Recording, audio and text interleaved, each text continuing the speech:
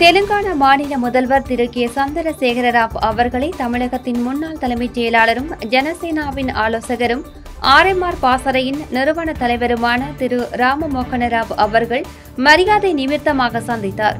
இந்த சந்திப்பின் போது தெலுங்கானாவின் புதிய தலைமைச் செயலாளராக திருமதி சாந்திகுமாரி அவர்களை நியமித்ததற்கு நன்றி தெரிவித்த திரு ராமமோகன ராவ் அவர்கள் மேலும் தெலுங்கானா ஆந்திர மாநிலங்கள் உள்பட தென்னிந்திய மாநிலங்களின் அரசியல் நிலவரங்கள் குறித்தும் கலந்துரையாடினார்.